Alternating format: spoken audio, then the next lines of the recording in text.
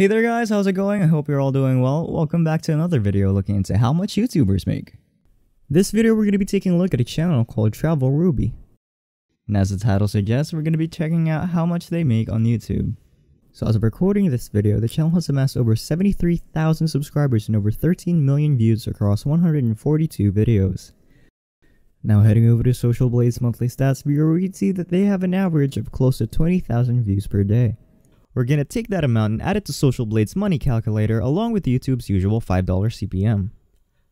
CPM of course meaning cost per thousand views. This usually floats around 3 to 5 US dollars but can fluctuate from $1 to 10 and sometimes even more. All of this depends on how well your channel is going. How many ads are in your videos, how many of those ads are received by your audience, how long they watch it for, and if they open it or not. But not just that, the country where your viewers are watching the videos from also affect your CPM.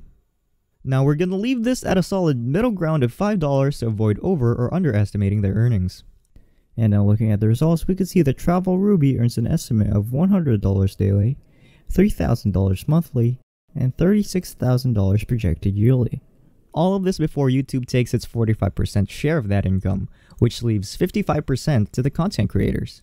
So what we'll do is we'll be taking their estimated earnings and multiplying each of them by 0.55, giving us their total estimated income. So now with YouTube's 45% share taken into account, that leaves them with $55 daily, $1,650 monthly, and $19,800 annually.